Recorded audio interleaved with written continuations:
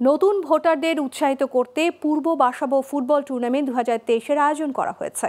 বুধবার সকালে রাজধানীর সবুজবাগের পূর্ব বাসাবোর প্রিন্স গার্ডেন মাঠে টুর্নামেন্টের উদ্বোধন করেন সবুজবাগ থানা আওয়ামী লীগের সাধারণ সম্পাদক ও DSCC councillor Lion Chittaranjan Das. অনুষ্ঠানে উপস্থিত ছিলেন আওয়ামী লীগ নেতা মাসুদ হাসান শামীম, ইসমত তাকির বাবু, নারী ওয়ার্ড কাউন্সিলর নাসরিন আহমেদ, সাবেক কাউন্সিলর আবুল কালাম আজাদ। কাউন্সিলর চিত্তরঞ্জন দাস বলেন, নতুন ভোটারদের নিয়ে এ ধরনের আয়োজন ব্যাপক সাড়া ফেলবে। যুব সম্প্রদায়ের থেকে একটি সময় উপযোগী খেলার আয়োজন করছে।